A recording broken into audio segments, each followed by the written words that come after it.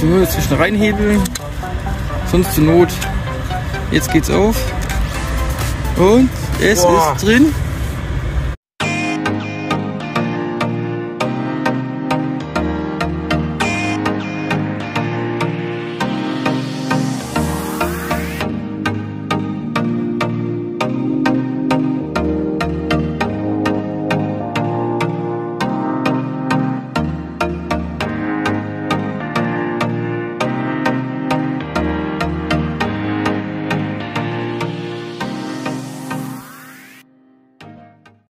So, zurück wieder an alter Stelle. Jetzt geht's weiter. Wir wollten ja das Zeug hier noch äh, mitnehmen. Der Hänger kommt jetzt nachher auch gleich dazu.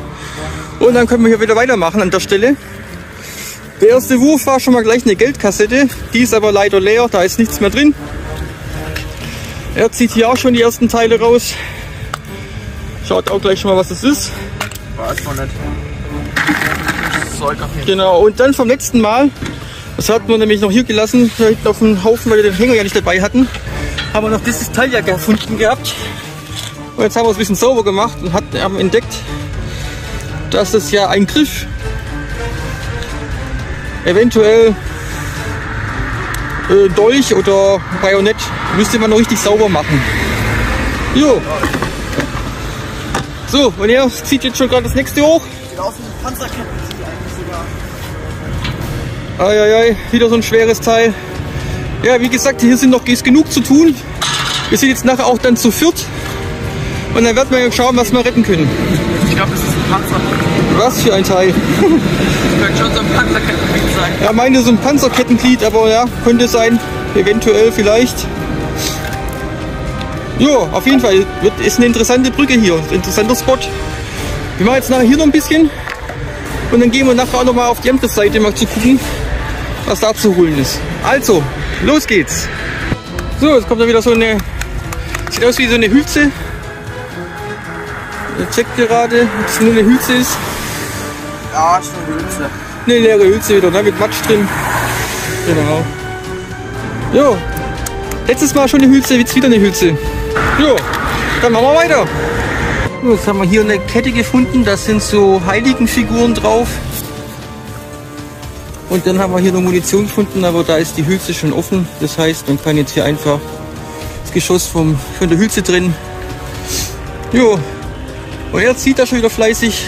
Da sind so, wie gesagt, so viele schwere Sachen drin. Ja, also machen wir mal einfach weiter. So, jetzt haben wir hier noch so ein äh, Baustellenschild, Stange, nennen wir es jetzt einfach mal. Und dann haben wir hier noch ein, ein schönes Fahrrad. Das erste Fahrrad für heute. Und da drin sind noch viel mehr. Ja, Problem ist heute, wir haben minus 3 Grad. Das heißt, das macht natürlich auch richtig Spaß mit den Fingern irgendwann. Wir müssen uns halt richtig warm halten. So, er hat auch schon wieder irgendwo was dran. Aber wieder ab wahrscheinlich, oder? Nee, geht noch, noch ist dran. Es geht immer ran und ab, ran und ab. Ja, das ist ziemlich schwer. Man sieht ja, die Strömung ist relativ heftig.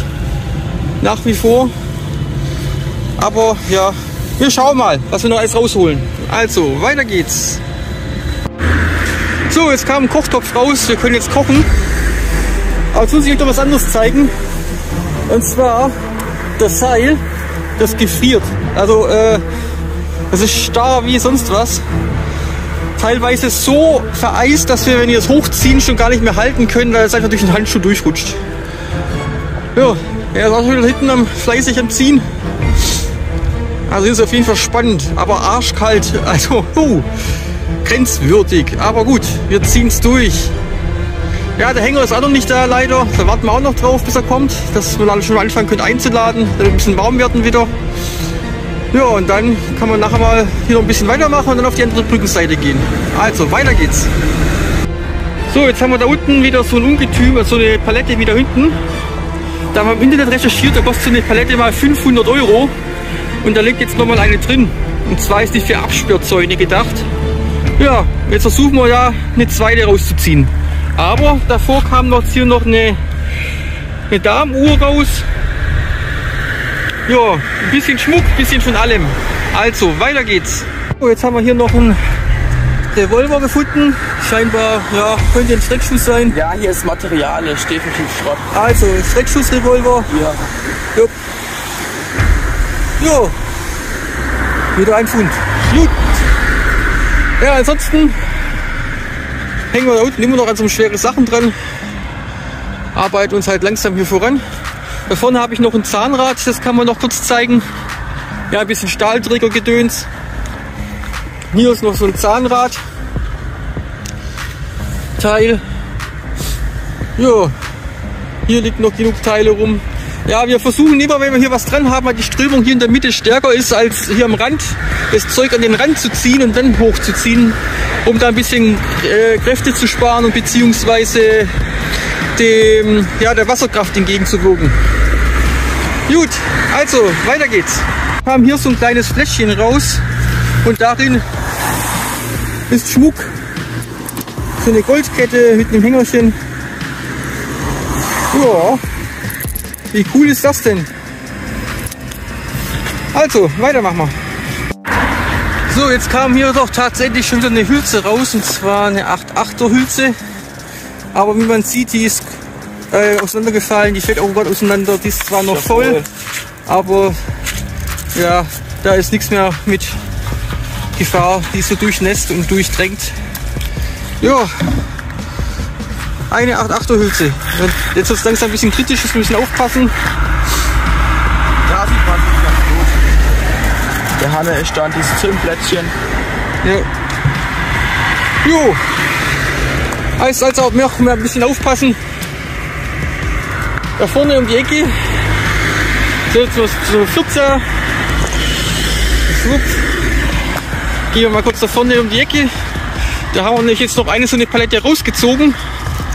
Die steht da vorne, sieht man es. Wir haben jetzt hier schon mal so einen Haufen hingemacht, dass wir nachher im Hänger hier hin können und das aufladen können. Da unten steht der Hänger. Okay, diese Palette wird man wahrscheinlich nicht so reinkriegen, die ist auch ein bisschen zu groß, die melden wir einfach mal. Aber das ist Wahnsinn, das ist verdammt schwer. Ja, also es tut sich hier sehr viel. Jetzt kommt er gerade noch mal her, hat da was zu erklären. Hab sie gerade noch sauer gemacht, jetzt sieht man es ganz gut. Da ist das Zünddings. Ja. Ja, 8-8er Hülse. Jo, also. Das heißt aufpassen, dass wir ja nicht Scharfes noch drin haben. Gut, das war jetzt theoretisch eine scharfe Hülse, aber die ist wie gesagt auseinandergebrochen. Also, weiter geht's. So, jetzt haben wir die Seite gewechselt und dann kamen wir noch schon gleich hier so ein Baustellenschild. Hier so ein Eimer. Ja, jetzt tun wir gerade noch ein paar Fische retten. Kleine Grundeln. Dürfen alle wieder ins Wasser. Klack. Bauchklatscher gemacht. Gut. Also, machen wir weiter. So, jetzt kommt eine Geldkassette gerade hoch. Wenn sie nicht vorher wieder reinfällt. Aber nein, er hat sie. Was ein riesen Oschi. Ja, gleich mal gucken.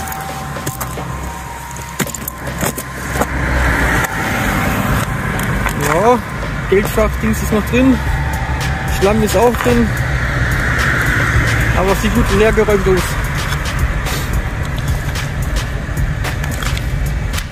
Quatsch. So, jetzt vorsichtig hochmachen. Was ist noch was drin? Da ist noch eine Münze, glaube ich, oder? Ja, sieht nach einer Münze aus, aber das kann man jetzt auch gerade nicht erkennen. Da ist noch ein Fach, oder? Nee. Nee. Ja, leere. Vielleicht zwei, drei Münzen vielleicht, wenn man sich die genauer schaut. Nee. Nix? Okay. Jo, also. Dann machen wir mal weiter.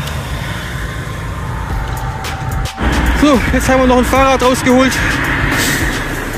Ja, das liegt auch schon ein paar Tage drin. Also es kommt hier richtig was zusammen. Haben wir eigentlich jetzt zu tun. Ja, hier kam jetzt hier noch eine Dose raus. Also scheint eine Dose zu sein. Möchte ich jetzt halt nicht unbedingt aufbrechen. Nachher ist da irgendwas drin, was dann kaputt gehen könnte. Oder vielleicht ist es auch einfach irgendeine schöne Dose. Die wird wir jetzt noch sauber machen. Ja, ich probiere mal, vielleicht kriege ich sie auf. Wenn nicht, dann wie gesagt, versuche ich es mal im Museum aufzumachen. Jo. Äh, da drüben ist auch was los. Na, keine Ahnung, da wird irgendwie was gezogen, gemacht, getan.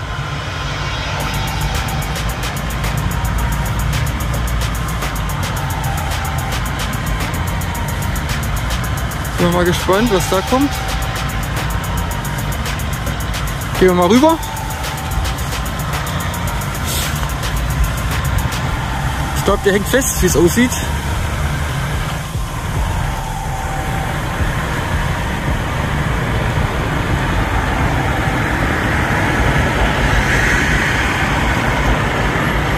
Ja, da scheint wahrscheinlich irgendwie was drunter zu sein, eine Art, vielleicht eine Führungsschiene oder sowas, so festhängt. Jo, dann helfen wir mal kurz. Schauen wir nicht nur zu, sondern helfen mal. Bis gleich. So, Magnet ist geborgen, hat geklappt. Und jetzt machen wir die Dose auf. Und schauen wir mal, was da drin ist. Wäre natürlich lustig, wenn nichts drin wäre, aber nachher ist da irgendwie eine Uhr oder Schmuck drin. Spannung, Spannung. Irgendwas ist auf jeden Fall drin. Das sehe ich. Und?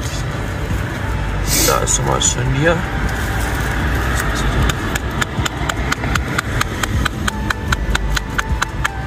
Ja, können wir nur gespannt sein, was da drin ist. Ist sowieso. So, jetzt zwischen reinhebeln. Sonst zur Not. Jetzt geht's auf. Und es Boah. ist drin. Eine Münze! Yeah! Was? Ist doch cool. Eine Silbermünze, 150 Jahre, irgendwas. Mit Zertifikat und allem. Ein Schatz gefunden. Hä? Spielzeugmoped. Ja, eine Hey, Silbermünze. ein Motorrad noch. Oberkrass. Ja, da noch ein Motorrad. Wie cool ist das denn? Silber! Ein Silberschatz gefunden. In der Kapsel sogar noch drin. Deswegen 1992. sind, das sind jetzt 10 Mark, ne? Äh, Otto, Nikala. Ich weiß es nicht. Catch of the Day. Ja, das Eine auf jeden. Fall. Republik Österreich. Oh, Schilling. 100, 100 Schilling. 100 Schilling Münze, das ist noch cooler. Jo, also super. Ein Schatz gefunden. Yeah. Also, und dann, was haben wir noch? Ist natürlich so, dass es vorbei ist jetzt. Dann habe ich hier noch ein Radio, so ein mobiles Radio gefunden. Ne? Äh, ja. Riesenklopper. Eins nach dem anderen kommt hier raus. Also Wahnsinn. Läuft ja jetzt hier. Weiter machen wir. So. Jetzt haben wir soweit fertig äh, ja, abgefischt und jetzt packen wir langsam den Hänger voll. Seile sind schon fertig. Jetzt laden wir erst da drüben auf der anderen Seite das Zeug ein. Dann fahren wir hier rüber, laden hier das andere Zeug ein. Und dann soll es für heute gewesen sein. Ja, ich denke, es war spannend. Hatten ein paar richtig coole Funde. Da ist jetzt gerade noch eine Uhr dazu gekommen. Heißt es jetzt zwei Armbanduhren, ein Revolver, die Silbermünze, also echt tolle Sachen dabei gewesen.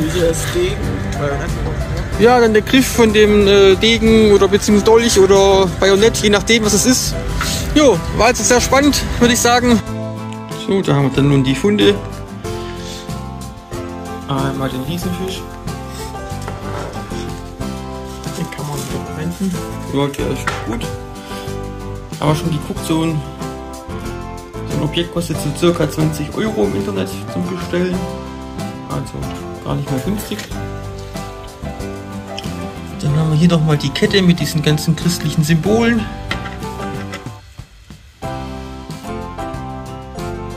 Ja. Dann haben wir hier die Uhren. Also hier kann man ein bisschen, drin, ein bisschen länger dran schaut, kann man doch noch ein bisschen was erlesen.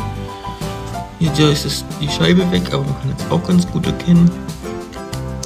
Ja, das sind die zwei Armbanduhren. Dann haben wir hier so zwei Schlüssel. Wenn jemand weiß, für was die Schlüssel sind, kann das gerne in die Kommentare schreiben. Okay.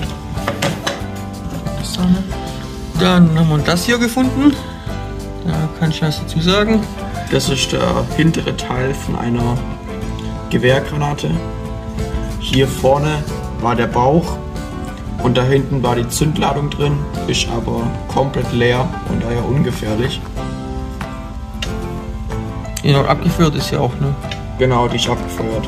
Sieht man hier oben ganz gut, da ist schon aufgeplatzt. Das heißt, die ist komplett ungefährlich, kann ins Museum.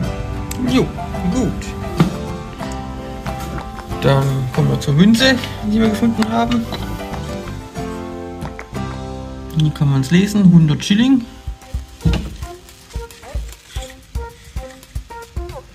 Die glänzt wie verrückt. Genau. Gut. Und dann haben wir noch hier einen Griff. Wahrscheinlich von einem Säbel. Genau, da haben wir jetzt ein bisschen recherchiert. Da fehlt ein bisschen was, aber das ist immer auf jeden Fall ein Griff von dem Säbel. Da fehlt halt der Handschutz bzw. die Parierstange. Aber ansonsten ein schöner Fund. Genau. Gut, das waren noch kurz zusammengefasst die Funde. Vielen Dank fürs Zuschauen. Und wenn es euch gefallen hat, lasst doch gerne ein Abo da, einen Daumen hoch und über jeden Kommentar freuen wir uns natürlich. Also bis zum nächsten Mal. Hier noch kurz ein Einsicht in den Hänger, der ist randvoll.